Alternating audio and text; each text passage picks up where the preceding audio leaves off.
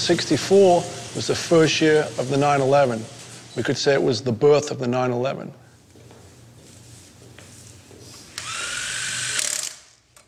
Nine eleven is just such an iconic shape, you know, it's the classic Porsche. When people think of Porsche, they think of 911.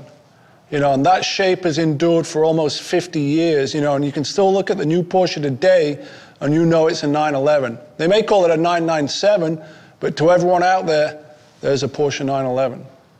My goal um, a few years back was to have one of every year from 64 through 73. Ironically, I got all the way to 72. I've yet to get the 73, but I did get the most difficult one, the 64.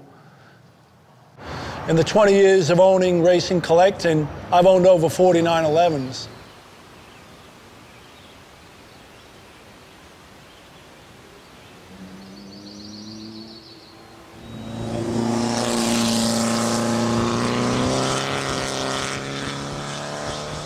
As a 10 year old, my father took me to the London Earls Court Motor Show in 77.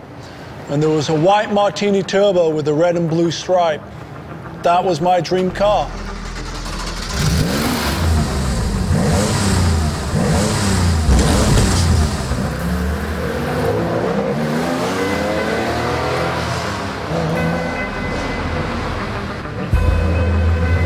I even wrote a letter to the Porsche factory at the age of 10.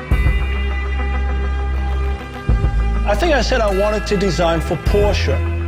And the kicker is they even wrote me back and basically said words to the effect of, well, when you're older, give us a call.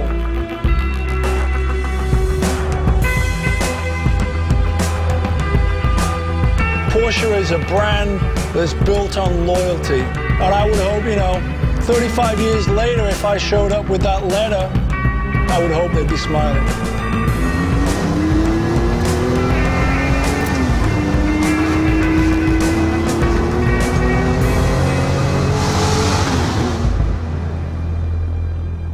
It's the smell, it's the sound. You hear your heart pumping, you feel the blood pulsing through your veins, you sense the sweat dripping down.